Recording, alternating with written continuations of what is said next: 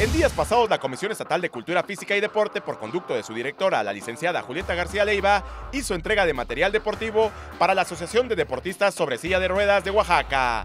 La entrega se hizo en las instalaciones del gimnasio Ricardo Flores Magón, donde recibieron a todos los atletas de capacidades diferentes. En presencia de Mario Izquierdo Betanzos, presidente de dicha asociación, se hizo la entrega de 10 balones de básquetbol, uniformes de exterior a los integrantes de la asociación, además de 10 sillas de ruedas para básquetbol, dos sillas de ruedas para atletismo y una silla de ruedas de traslado, la cual será entregada al multimedallista de natación Luis Ángel Santiago. Un día después, la Secude también entregó al presidente de la Asociación Oaxaqueña de Deportistas de Ciegos y Débiles Visuales, Samuel Centeno Juárez, material deportivo que los ayudará para sus próximas competencias. El material consistió en nueve juegos de uniformes de exterior e interior, seis rodillas, seis coderas, seis gogles para goalball, nueve juegos de uniformes de exterior e interior para atletismo, cinco uniformes de exterior e interior, cinco pares de aletas, 10 gogles y 10 gorras de látex para natación, así como cinco pares de aletas de nado de pecho. La directora de deportes indicó que este material está pensado para promover e intensificar la actividad deportiva de estas asociaciones.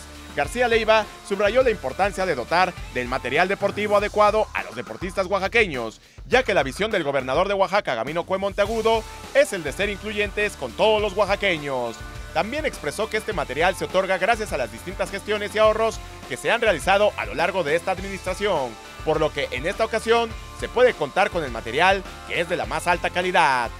Para MBM Deportes, Pablo Vázquez.